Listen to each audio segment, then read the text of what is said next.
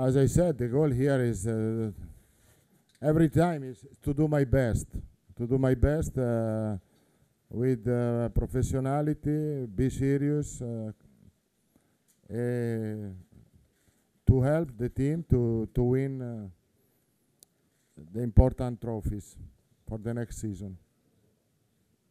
Thank you.